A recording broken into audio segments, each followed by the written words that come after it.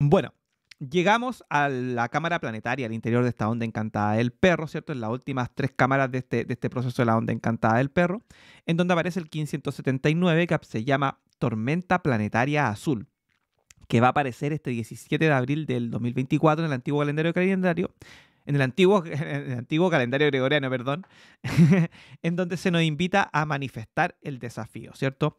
En la torre pasada, ¿cierto? En la torre pulsar ya formalizamos la acción, ahora tenemos que manifestarla. Entonces tenemos que manifestarlo a través del poder del desafío, ¿cierto? Es donde la acción y el desafío se encuentran y la pregunta que se nos hace es cómo perfecciono lo que hago. Y para perfeccionar lo que hago, la respuesta viene dada por el sello solar de la tormenta, que nos dice que tenemos que catalizar a través de la acción de catalizar, tenemos que eh, utilizar la esencia de la energía, ¿cierto? Y tenemos que activar el poder de la autogeneración. Es decir, para manifestar este desafío de jugar ¿cierto? Con la magia a través de la ilusión, que lo estuvimos revisando con el, águila, ¿cierto? Con la, altura de mira, tenemos que generar algún cambio.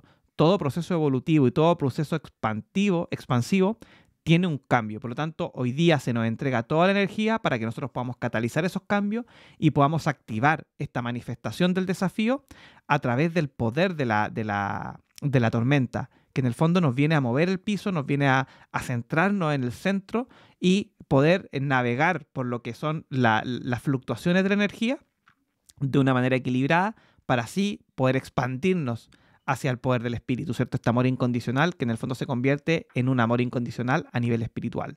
Leamos la afirmación del Kim para sintonizarnos con la energía. Disculpen. La tormenta planetaria, su afirmación nos dice, yo perfecciono con el fin de catalizar, produciendo la energía, sello la matriz de la autogeneración con el tono planetario de la manifestación y nos guía el poder de la realización, que es el poder de la mano. Por lo tanto, para manifestar este desafío, tenemos que ah, ocupar nuestras manos. Esa es nuestra guía. Acuérdense que todo proceso de amor incondicional comienza con amarnos a nosotros mismos. Vamos a estar apoyados por el poder del fuego universal que nos va a mostrar la luz, que después de todo cambio va a salir la luz, ¿cierto? Y vamos a tener calma, después de la tormenta siempre sale el sol. Nos va a desafiar el poder del agua universal porque la tormenta mueve el agua, por lo tanto mueve las emociones, ¿cierto? Pero también purifica nuestro ser y purifica nuestro entorno.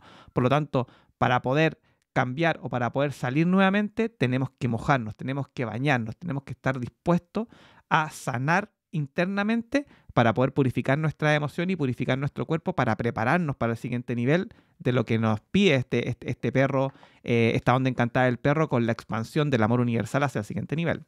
Y vamos a estar también conectados con la trascendencia, ¿cierto? Porque el, poder oculto de la, de, la, de la Tierra planetaria es precisamente el viento autoexistente, que en el fondo a través del poder del espíritu nos va a recordar que en la medida que nosotros nos movemos y generamos cambios, en el fondo el, impulso viene desde nuestro ser espiritual, ¿cierto? Es este ser espiritual que quiere evolucionar en el nivel material, por lo tanto nos mueve constantemente para poder llegar hacia el siguiente nivel.